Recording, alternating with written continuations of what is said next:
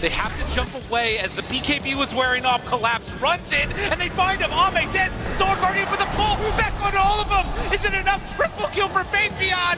Dawnbreaker is so strong as they chase into Collapse. Can they find anything else? There is no TA for 90 seconds.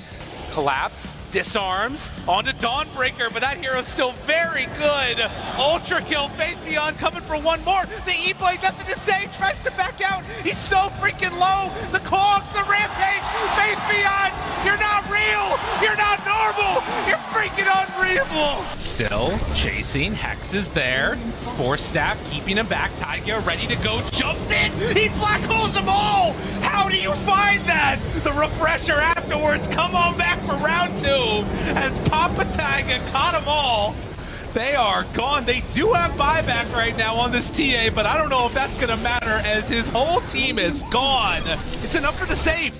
Both of the creep heroes are back. They have the flat where the turn Sadia just dies again. But the mix is still invisible. Oh, Whisper, Gojira jump onto the Timbersaw. K1, Abyssal Blades in, but the force snap across the save and the stop. That Earthsplitter crushes them. Beast Coast, they get slammed by OG. Team Spirit, they get two.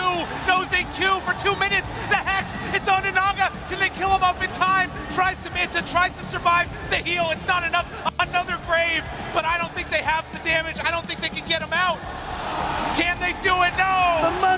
Yatoro with the triple kill. He's gonna keep it alive.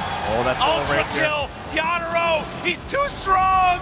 Faith_bian pops the refresher, needs a BKB, but the rapier! GG!